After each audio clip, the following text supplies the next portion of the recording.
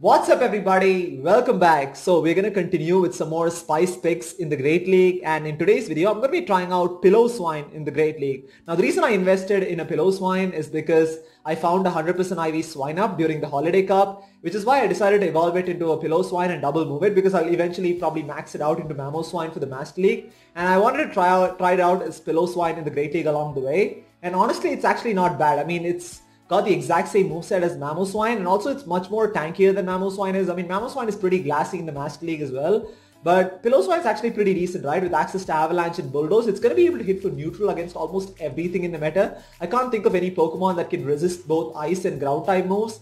Yes, it's going to have quite a few weaknesses, but if you can save shields for it, it can be pretty solid in being able to close out games, right? And also in this particular team comp, to be running it alongside Skarmory and Shadow Swampert. Now this team is very similar to that of the double Mudboy line uh, where I'm I'm going to be using Piloswine instead of Whiscash. It's not exactly the same thing because obviously Piloswine has a lot more weaknesses than Whiscash does. But the strategy is pretty similar, right? You lead with Skarmory, you stay in for a bit, and then you switch it to Swampert to basically bait out their grass type or something else that could probably be weak to Skarmory, uh, so that, you know, Piloswine can basically sweep endgame, right? Uh, and honestly, this team is actually not bad. I mean, it ended up working out much better than I thought it would be. And uh, like I said, we pull off some really nice wins as well. So let's just get straight into these battles. Okay, moving on to the first battle here. I'm going to be leading with Skarmory with Shadow Swampert and Piloswine in the back.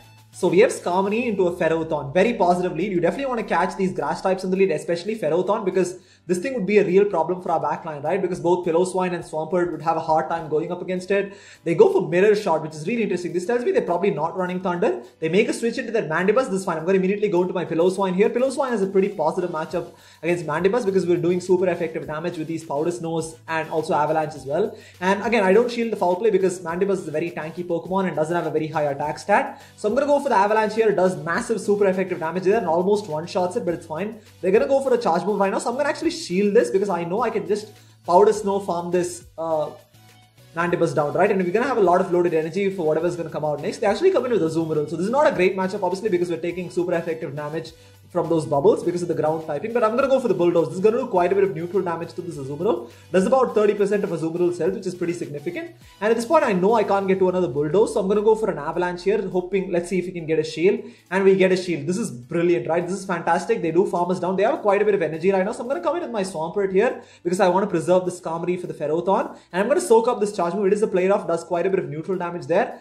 And I was expecting them to switch out and I'm going to go for the Hydro Cannon here, but they make a really nice switch into their Ferrothorn to catch the Hydro Cannon, right? Now this is fine. It's actually, this is to put the Ferrothorn into Sky Attack range. So I'm to switch into my Skarmory here. Unfortunately, they're able to get to a charge move. So I'm to let it go through. It was too soon to be Thunder. It's just a Mirror Shot. They're probably running Mirror Shot and Power Whip. Uh, so I'm just going to go straight for the Sky Attack here. And almost takes out the Ferrothorn, but I can just farm it down, right? This is probably just to be another mirror shot because they've probably done just about like three or four bullet seeds right now. And it's just a mirror shot which is resisted and I'm to be able to air slash down here.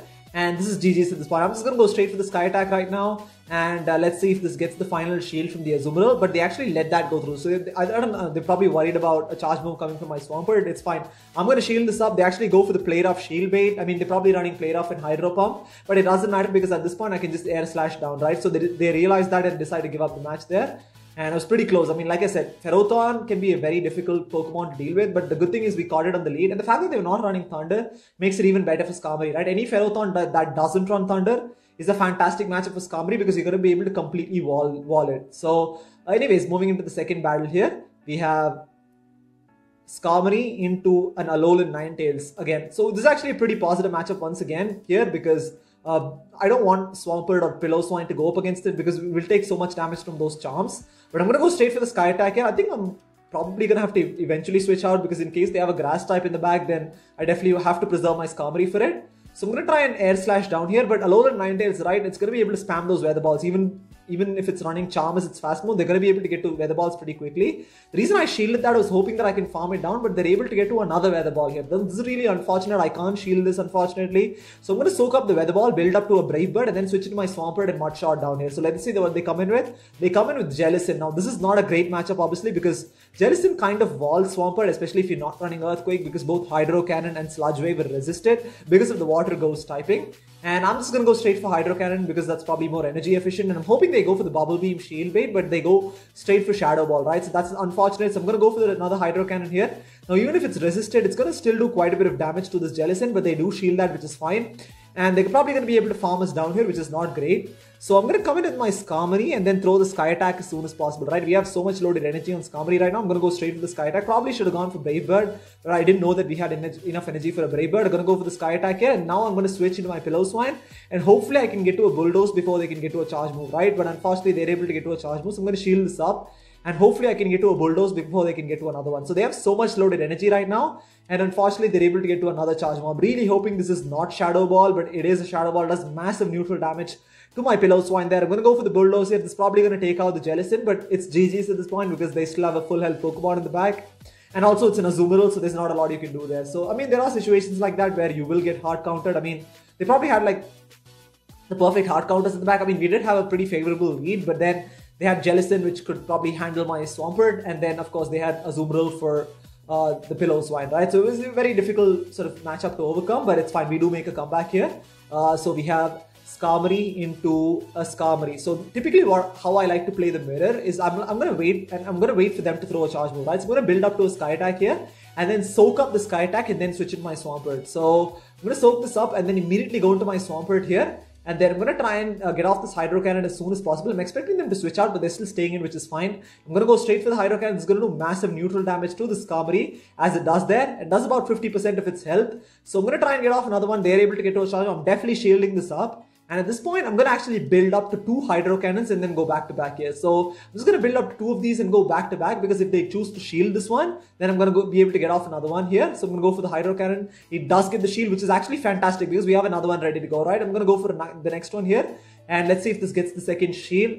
It does get the second shield. So this is perfect for us. I'm to actually let my Swampert go down because I can come in with my Piloswine and completely farm this Skarmory down, right? So I'm going to let it go down here. I'm going to wait out the switch clock a little bit and then come in with my Piloswine and then completely farm it down. But they make a switch into the Shadow Machamp. They have no more shields. We have loaded energy on Skarmory. I'm going to go straight for the Sky Attack here.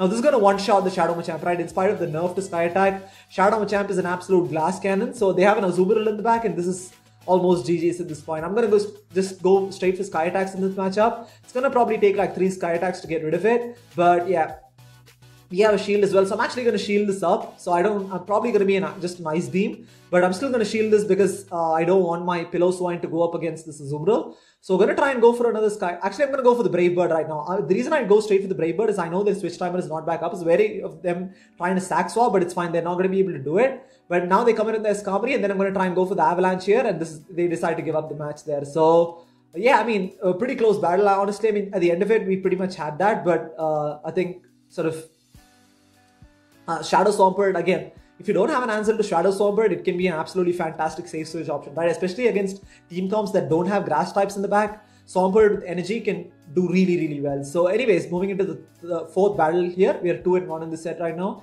So we have Skarmory into an Azumarill. So typically how I like to play this matchup is I like to count the bubbles. So I'm going to count the bubbles here. They've done about 7 bubbles right now, so I know it's a Hydro Pump. If it's a Hydro Pump, I'm definitely going to shield this because that would do quite a bit of neutral damage. And then I'm going to try and go for the Brave Bird here, but they make a switch into their Alolan Marowak to catch it. This is fine.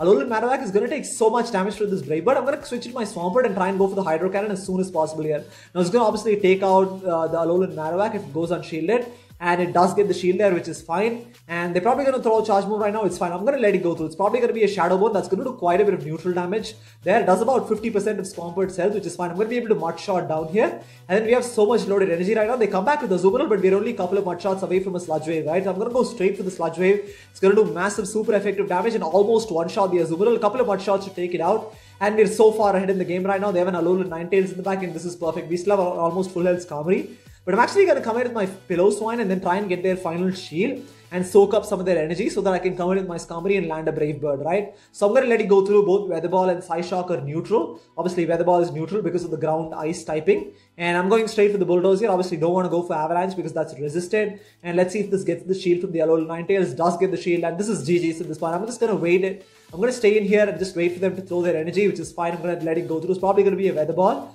Uh, it is a weather ball, which is fine. And then Alolan Ninetales is going to be able to get to charge moves pretty quickly, right? So it's not, I can't take anything for granted here. I'm going to shield this up. and uh, hopefully I can get to a Brave Bird before they can get to another charge move. So trying to get to another Brave Bird, but I'm able. they're able to get to another Weather Ball here, and this is again Alolan Ninetale is going to be able to spam those charge moves, especially with Powder Snow. It's going to be able to spam those Weather Balls, right? But luckily, I'm able to get to a Brave Bird here. Probably could Sky Attack would have done it, but I just wanted to play it safe, and then Brave Bird was almost for sure going to take it out, right?